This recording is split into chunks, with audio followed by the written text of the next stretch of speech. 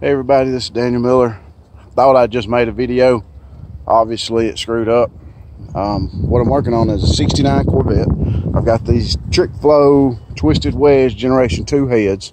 Um, they're at a intake valve angle of 16 degrees, exhaust valve angle of 18 degrees. I, I like that because as opposed to putting an LS in here, uh, you can get heads that flow the same or better. These heads flow supposed to be 250 8 CFM at 500 lift. Um, so either way, I'm excited to run these heads, but you know, with my flat, well, with these uh, bone stock motor, I'm worried about the valve reliefs and piston to valve clearance. So what I mocked up and just did a video on that didn't get recorded is uh, demonstrating um, as the cam that I have in here is Lunati uh, Bracket Master 2 it's got 515 lift. Uh, it's on both intake and exhaust. It's a 246 or 248 duration cam at 50 thousandths and on, on, a 108 center lobe. Um, I think it's going to be a good cam. Uh, the reason I went with this cam is everyone says that uh, on these twisted wedge heads with the valve angle being what it is, that you're limited to 525 lift, 106 LSA and no more than 236 duration.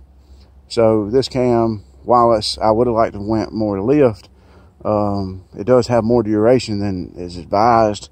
So I was a little worried, is, is it going to hit? That's the question of the day. So I'll show you on this head, it is, uh, they got this double spring with a damper in it. I've taken the damper, the reason I disassembled this one is to get the damper out. So I've got, uh, what I did was put this head on the motor um, and demonstrate pushing uh, with the cam. So at top dead center, both intake and exhaust are closed. Uh, the exhaust valve uh, closes just as it finishes getting to the top. The intake valve starts to open uh, as it on its downstroke, and I do believe that everything's happy.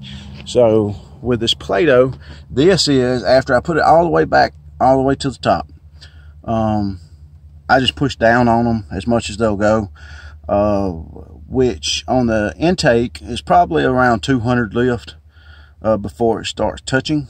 And the exhaust valve actually seats to the pocket of the valve relief pretty well, um, which you can see here, the valve relief in the piston and then it matches kind of well, pretty well. Um, so, but you know, the, the intake valve is moved on this head and uh, there's quite a bit of difference there. However, I think it will be fine. We will see. I am going to put a new timing set on this uh, car because it's a little loose and I don't want uh, any valve float. However, I do have a question with these heads. Uh, they're shimmed so we got the cup in here.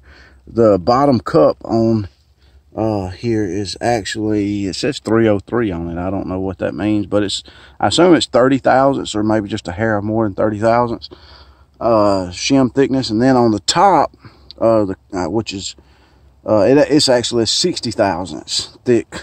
I would call it a shim or a cup, whichever. Um, I thought about removing one of them to try to soften the springs a little to run with a flat tappet as opposed to, to a roller. Um, I was a little worried about killing this cam, but I don't think that I'm going to remove them because you got installed heights and all that good stuff. Um, at either rate, uh, I'm, and I'm, I'd be a little worried about valve float.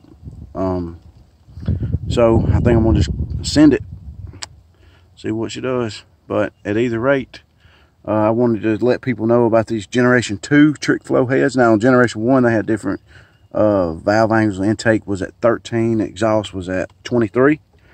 Um, and I know that you need different push rod lengths per intake and exhaust. But on these, these are actually a lot, a uh, good bit longer on the push rod length. So I've got to buy some.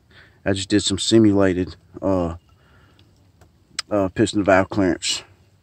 But I wish the earlier video had recorded. At either rate, this rain's coming. I got to get this covered up. Uh, let me know what you think. And all the haters, shut your mouth.